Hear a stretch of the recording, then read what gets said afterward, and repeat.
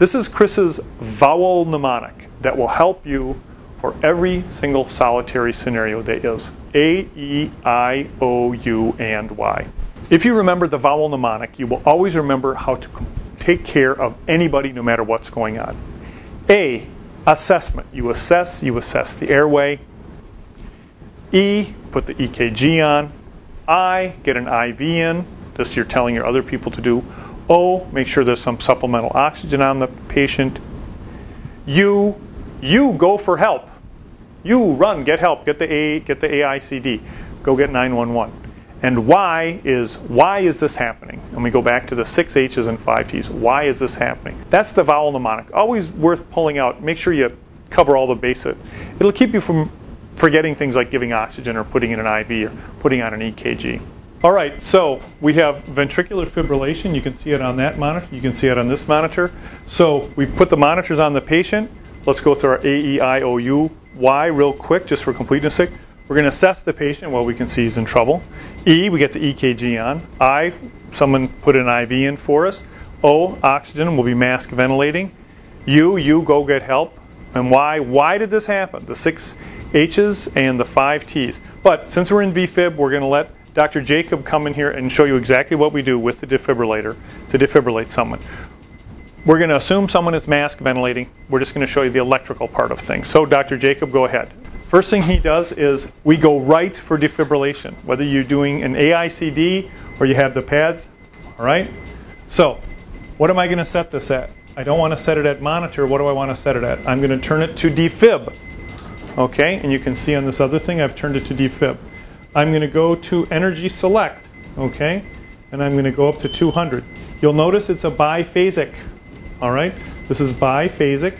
And now I'm, since I've done the energy select, the next thing we do is we're going to charge, okay? Now, for safety's sake, so nobody gets hurt, I am going to turn this down, but we will keep in mind this would be 200 joules biphasic, all right?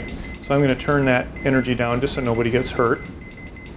God forbid Dr. Jacob touches something there. Now I'm going to charge. We are, you hear the whistle. Things are charging. We make sure everybody's clear and then we shock. All right, so I put shock is delivered and the patient is still in VFib. What do we do then? All right, and here's a little bit of a change in thinking. In days of yore, we used to shock three times. The main difference now is we do chest compressions right away.